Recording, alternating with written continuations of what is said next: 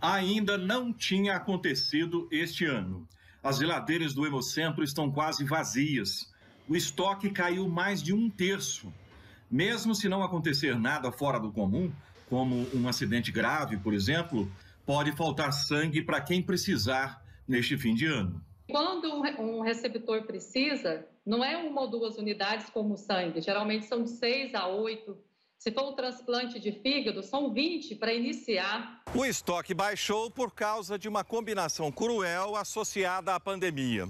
O coronavírus espantou parte dos doadores habituais e o consumo aumentou justamente porque muitos doentes com a Covid-19 tiveram complicações e precisaram de sangue. Covid é uma demanda, inclusive, de plaquetas. Até um paciente que entra em sepse, uma febre intensa, ele também vai consumir plaquetas viagens, festas e bebedeiras de finais de ano sempre aumentam o número de acidentes graves, principalmente no trânsito. E por causa disso, a demanda por sangue aumenta muito nos hospitais.